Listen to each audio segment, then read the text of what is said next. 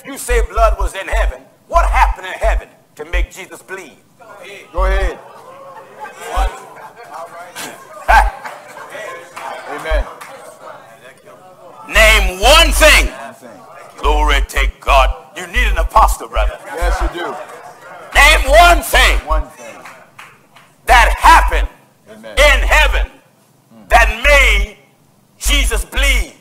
Hey guys, before we continue, I found that 84% of you who watch these videos are not subscribed. Click that subscribe button to support truth and click the like button to keep these videos circulated within the YouTube algorithm. Thank you for your support and truth. Let's get back to it. Name one thing One thing. that happened Amen. in heaven that made Jesus bleed. Okay.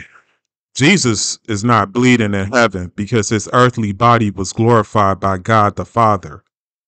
In John 17, 1 and 2, Christ lifted his eyes up to heaven and said, Father, the hour has come. Glorify your Son, that your Son may also glorify you. Pause. Now, can a regular man pray this prayer to God? Ask yourself that. Can a regular man pray this prayer to God, asking God to glorify him, knowing that God said, No flesh shall glory in my presence?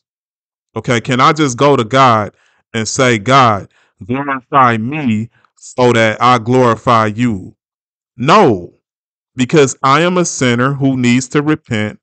Then God will give me a regenerated body, not a glorified body, a regenerated body and this meat suit got to return to dust.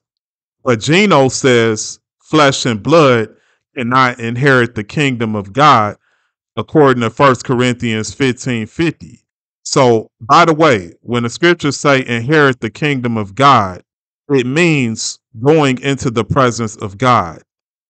Okay? Because you're going into his house, which is heaven.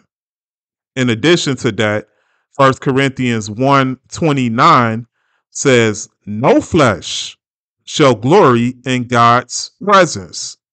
Then why is Christ in the flesh telling the Father to glorify him? Because Christ was without sin.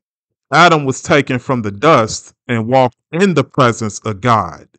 So I just gave you two examples of flesh that gloried in God's presence because it's all about whether or not the flesh sinned, dude. And now you gotta find out when was it clothed with the vesture Right. and when was it dipped in blood. That's right. Give me Isaiah, Isaiah chapter 63. chapter 63. And we'll start in verse 1. Yeah. Amen. Who is that? Who is he that cometh from Glory Edom? to God.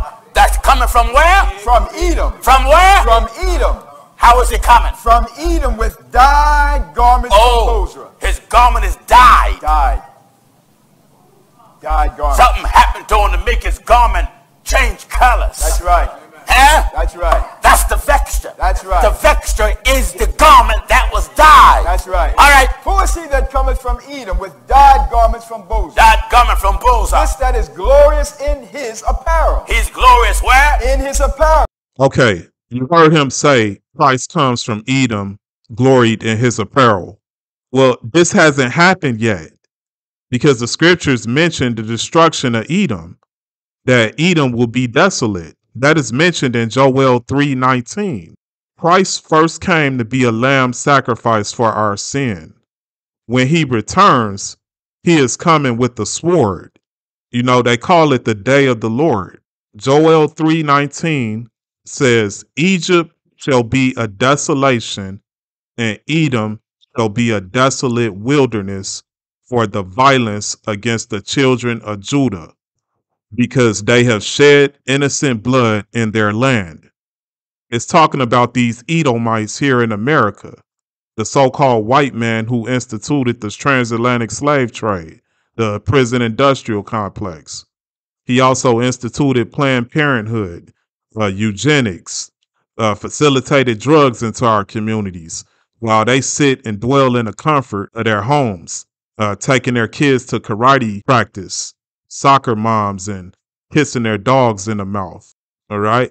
Isaiah 63 3 says, I will tread them in my anger and trample them in my fury, and their blood shall be sprinkled upon my garments. See, Gino would never talk about this stuff.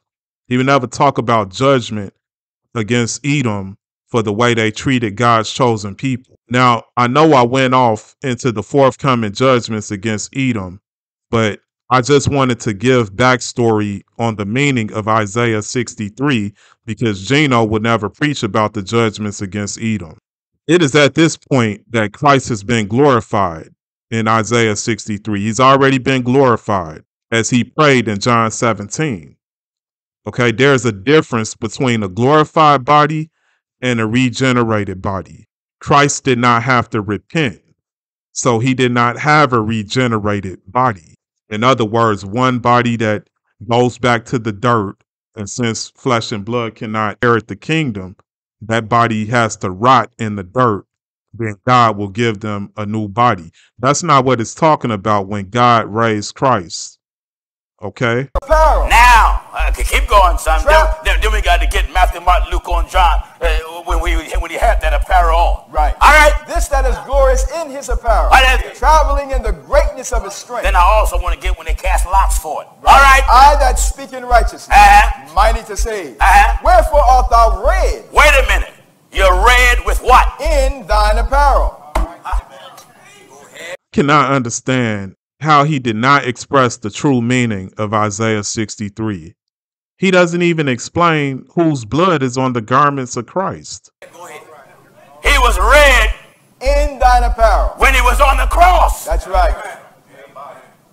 When they pierced him in the side That's right. and the blood came from that wound. Yeah.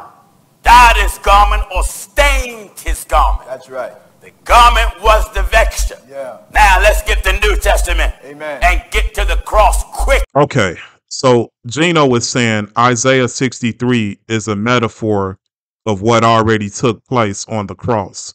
You lie, you lie, you lie. You are a liar. See how he moved quick from that scripture? He never tells who Edom is and why God uh, tread them in fury and vengeance. And he's always looking up.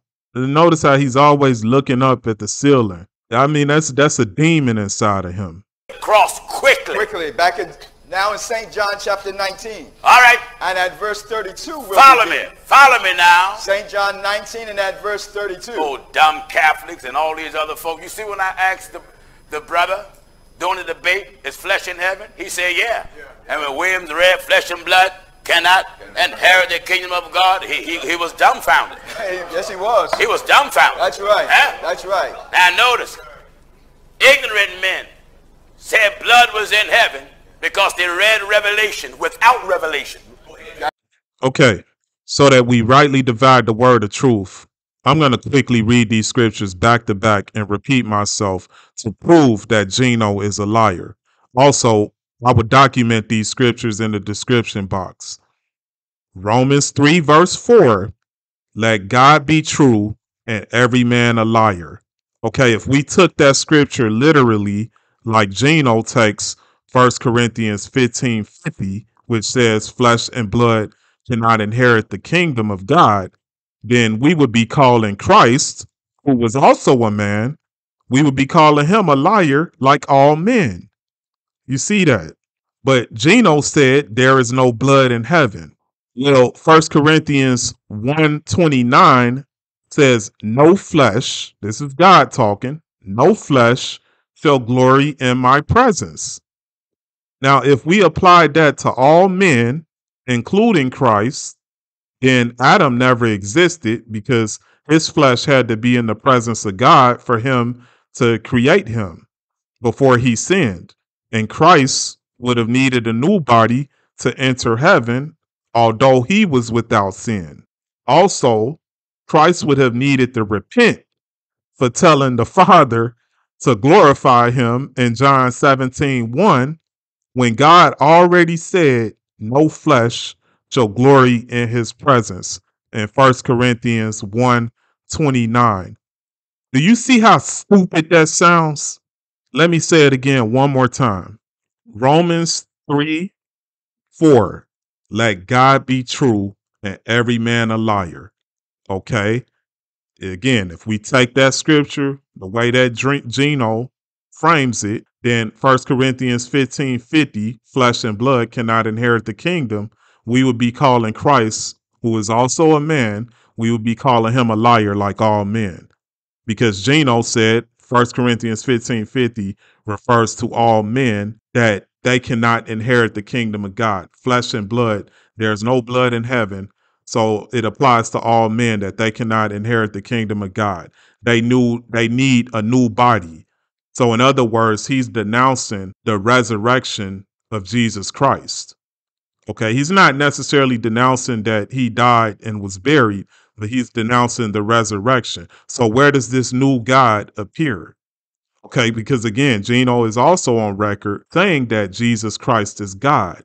So how did Christ get back into heaven if flesh and blood cannot inherit the kingdom of God? He would need a new body, according to his logic. And again, 1 Corinthians 129, God said, No flesh shall glory in my presence. If we applied that to all men, including Christ, again, then Adam, whom God took from the dust of the earth, never existed.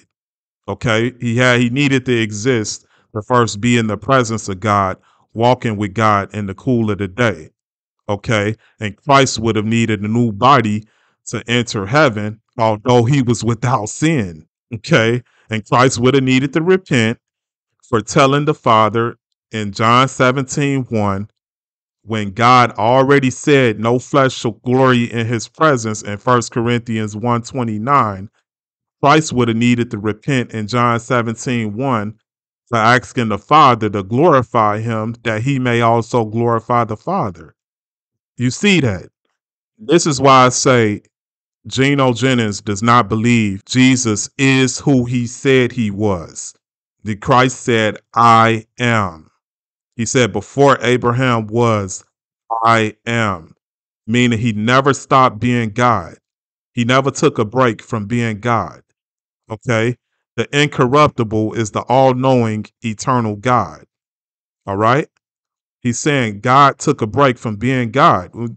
See how being a heretic can take you down a rabbit hole that says something else that you're conveying to others that you're trying to say Jesus is God and you're trying to denounce him being in the flesh, that flesh cannot be God. But now, and you going around in circles saying that, you're denouncing the entire deity of Christ as God. What's the point of a miracle if we are not awestruck by how Christ was raised by God and that he is God? Okay, this false apostle wants us to be awestruck by him. So he tells you Christ couldn't do this or he couldn't do that. And I can do this better than him. I mean, this is what this false prophet been saying in his message.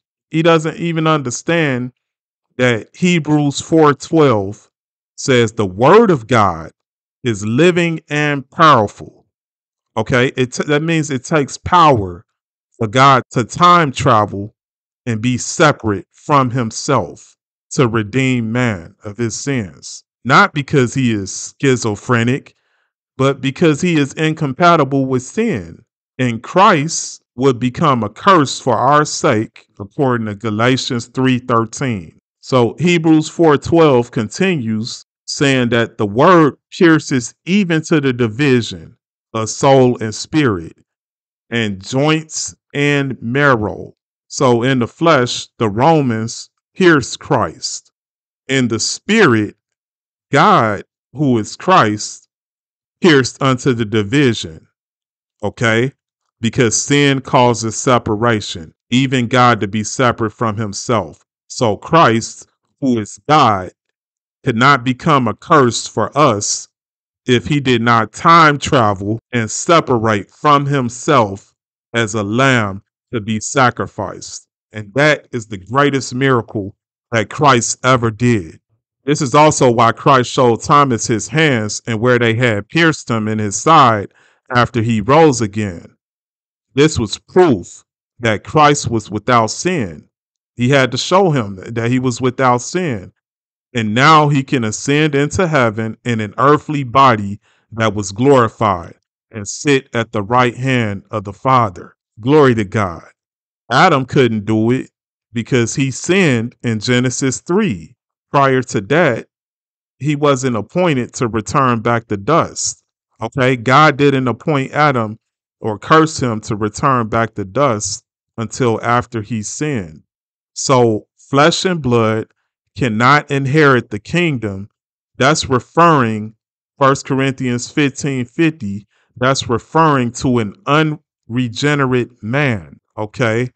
That's all men who have sinned, not God, who is Jesus. Undoubtedly, Gino is a false teacher. I mean, his teachings are limited and elementary. It's really straight from his flesh. Okay. He doesn't break down how the Holy Spirit was not sent to live inside Adam before he had sinned. He doesn't break down how the disciples didn't have to fast so long as Christ walked in the flesh among them. I suggest you run from false apostles like this. See, this is why he couldn't cast the demon out. Okay? He doesn't even believe in Christ. He doesn't even believe in the full deity of Christ. Okay? He doesn't believe in, again, the awestruck of Christ, how we are awestruck by the greatest miracle that Christ ever did. He's a false apostle. Okay? He's worse than Dow. Let me tell you that. Dow if you don't see Dow from a mile away, then I don't know what to tell you. Okay, Dow is more obvious. Okay, Gino is a real serpent. Okay, he mixes a lot of truth, and he he's more of an angel of light. Okay, a lot of his dirt is not exposed to the public. He does a real good job at concealing his demons. All right, so watch and pray and be wary. That's why Christ said, beware of false prophets. They don't, they don't all come in the same package. All right? Don't let your flesh write checks your soul cannot cash in the afterlife. It's all about Fates and Gates. You got to have faith and you're going to need God's grace.